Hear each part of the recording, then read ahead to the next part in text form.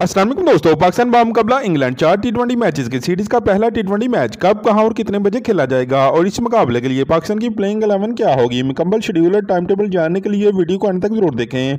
साथ ही क्रिकेट से रिलेटेड इसी तरह की बेहतरीन खबरें सबसे पहले जानने के लिए अभी हमारा चैनल सब्सक्राइब कर दें। जी हाँ दोस्तों, पाकिस्तान टोवर ऑफ़ इंग्लैंड चार टी ट्वेंटी मैचेस की सीरीज़ का पहला टी ट्वेंटी मैच। अगर इस मैच के लिए पाकिस्तान की प्लेइंग अलेवन की बात करें तो प्लेइंग एलेवन में शामिल है। Number one Saim number two Mohammad Rizwan.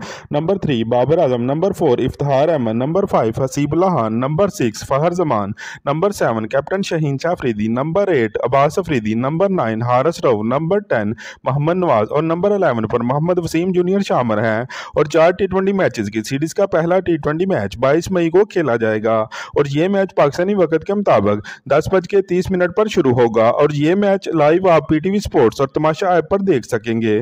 Pakistan और इंग्लैंड के दरमियान पहला टी ट्वेंटी मैच कौन सी टीम जीतेगी? कमेंट सेक्शन में अपनी कीमती राय का इजहार ज़रूर करें। साथ ही क्रिकेट से रिलेटेड इसी तरह की ताज़रीन खबरें सबसे पहले जानने के लिए अभी हमारा चैनल सब्सक्राइब कर दें।